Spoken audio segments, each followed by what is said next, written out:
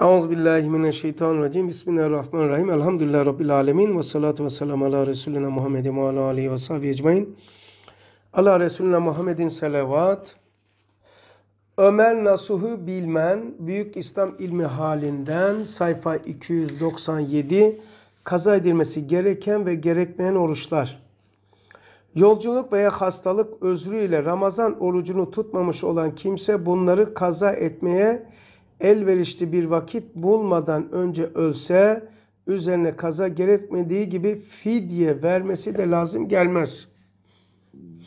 Ancak oruç oruçları için fidye verilmesini vasiyet etmiş olursa malının üçte birinden bu vasiyetin yerine getirmesi gerekir. Yani seyahat etti, hastalık ama geçici hastalık, daimi hastalık olmaz. Geçici bir hastalık veya seyahat ettin, tutamadın, e, sonra da e, kaza edecektin, etmeden ölürsen bir şey gerekmez ama e, malı kalmışsa fidye verilmesi lazım. Fidye ne demek? Fidye bir Ramazan orucunu tutamayana fidye verecek. Onu da çok soruyor. Fidye fakir bir kimseyi sabah akşam doyuracak, doyuracak olan bir günlük yiyecektir. Bu bir fıtre sadakasına eşittir. Kişiye göre değişir bu da. Hurmaya göre, üzüme göre, buğdaya göre. Evet, arpaya göre diye dört tane ölçü birimi var. 128. Ee, madde yolculuk veya hastalık sebebiyle Ramazan orucunu tutamamış olan kimse bunun tamamını veya bir kısmını kaza edebilecek bir zaman bulunmuş olduğu halde bunları kaza etmeden ölürse yani adam hastalıktan dolayı veya seyahat etti Ramazan orucu tutamadı. Vallahi lakayt davrandı 2-3 sene geçtiği halde hala tutmamışsa kaza etmeden de ölse bu malı olduğu takdirde kazaya kalan her gün için malının üçte birinden ödenmek üzere bir fidye ödenmesini vasiyet etmesi gerekir. Bu fidye fakirlere verilir. Bir özrü olmaksızın kasten Ramazan orucunu tutmayan kimse üzerine de bak bir özrü yoksa Ramazan orucu tutmayan bir kimse üzerine de öldüğü zaman malının üçte birinde fidye verilmesini vasiyet etmelidir ki bu vaciptir. Kaza edecek zamanı bul, bulma, e, bulamasa da hüküm aynıdır. Çünkü yapılması mümkün olan bir ibadeti terk etmiştir. Vasiyet etmediği takdirde varislerin bu fidyeyi vermeleri üzerine vacip olmaz. İsterlerse kendi mallarından bir bağış olarak verilebilir. Varisler ve varisi olmayanlar ölü adına orucu tutmak suretiyle bak varisler ve varis olmayanlar ölü adına orucu tutmak suretiyle kaza edemezler. Yani babam öldü, babamın e, tutamadı orucu. Aa üç gün kalmıştır Ramazan'a, babamın üç gününü tutayım. Hayır, bir başkası adına fiili ibadet yapamazsın. Onun adına fidye verirsin, sadaka verirsin ama kaza edemezler. Böyle beden ile yapılan ibadetlerde başkasına vekalet edilemez. Benim namıma namaz kıl, benim namıma oruç tut gibi. Olmaz bu. Ancak kendileri için tuttukları oruçların sevabını ölüye bağışlayabilirler. 129. Tutulmayan oruçlardan dolayı fidye verilmesi, Ramazan orucu ile Ramazan ayından kazaya kalan oruçlara ve nezir oruçlarına mahsustur. Mesela tutulmayan oruçlardan dolayı fidye verilmesi. Ramazan orucu ile Ramazan ayından kazaya kalan oruçlara ve nezir oruçlarına nezir yani vaat edilmiş. Vadım olsun falan diyoruz ya oruçlara mahsustur. Yemin veya adam öldürme kefaretleri için gereken oruçları tutmaktan aciz kalan kimsenin daha hayattayken fidye vermesi caiz değildir. Fakat bu oruçlar için vasiyet etmesi caizdir. Bu da çok önemli araya gireyim. Mesela vallahi gelmeyeceğim ha falan böyle gündelik hayatta konuşuyorum. Vallahi olmaz ya. Tekrar yapıyorsun. O vallahi dedin üç gün oruç tutman lazım. Peş peşe ara vermemek demeyin yani. 130. madde bozulan herhangi bir nafile orucun kazası gerekir. İster bu orucu bozma, oruçluğunun kendi isteğiyle olsun ister olmasın aynıdır. Bunun için nafile oruç tutmaya başlayan bir kimse pazar diyelim ki Ramazan'ın dışında pazartesi, perşembe oruç tutuyor. Nafile. Bunun için nafile orucu tutmaya başlayan bir kimse, bir kadın adet görecek olsa sahi olan görüşe göre bu orucu kaza etmesi gerekir. Hemen bozması lazım. Yiyecek ama kaza etmesi lazım. Çünkü niye? Niye kaza etmesi lazım nafileymiş? Başlanmış bir ibadeti yarıda bırakmamak ve yüklenilen bir din görevini yok etmemek vaciptir gerektir. Bu bu nafileler için. Ama farz olan oruç var. Ramazan orucu. Tutarken kadın ayız görse hemen bozar, açar, yemek yer. Başka gün işte onu öder. Yani tutar. Şafile göre böyle bir oruç serbesttir. Dilerse bu orucu kaza eder, dilerse etmez. Üzerine vacip olmayan bir ibadete başlamıştır. Yani Hanife'de şu, nafileye başladın mı kardeşim? Kendine sünneti vacip kıldın. Onun için bozuldu mu orucun? Nafile orucun pazartesi.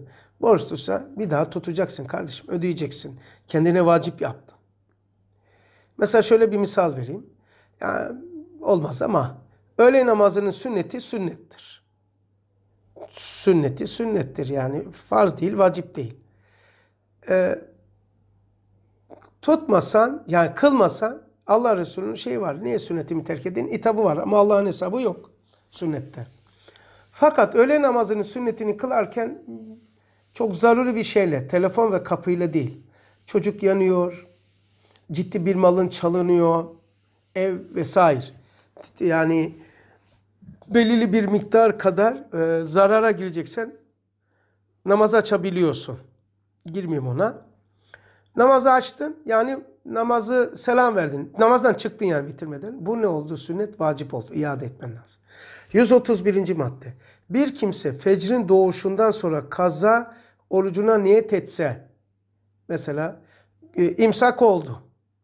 Kazaya, Ramazana değil, kazaya orucuna niyet etse bu oruç kaza eline geçmez. Nafile bir oruç olur. Kaza şu yani daha önce Ramazan'ı tutamamıştın, kaza ediyordun. E, ne zaman ettin? E, imsak doğdu, niyet ettin. Olmaz. Nafile olur ama.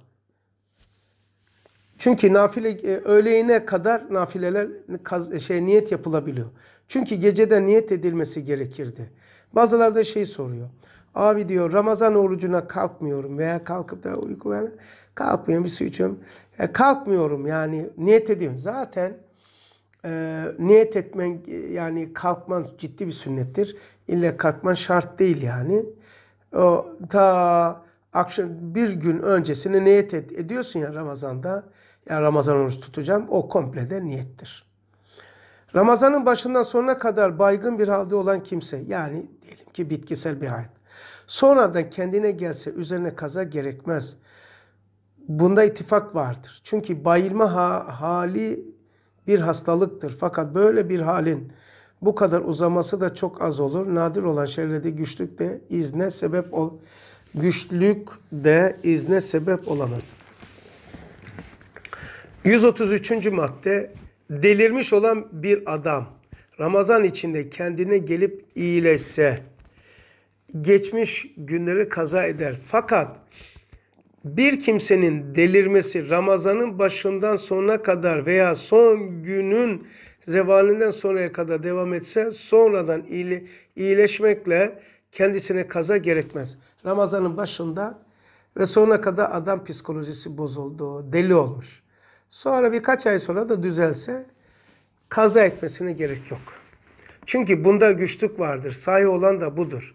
Yine böyle delirmiş olan kimse Ramazan gecelerinden birinden iyileşip de sonra fecirden itibaren yine delirse üzerine kaza gerekmez. Delirmiş olan kimsenin iyileşmesi kendisindeki delirmenin tamamen ortadan kalkmasıyla olur. Mesela Malikilere göre delirme de bayılma gibidir. Onun için kazası gerekir. 134. Orucu kazaya kalan kimse orucu kazaya kalan kimse orucu.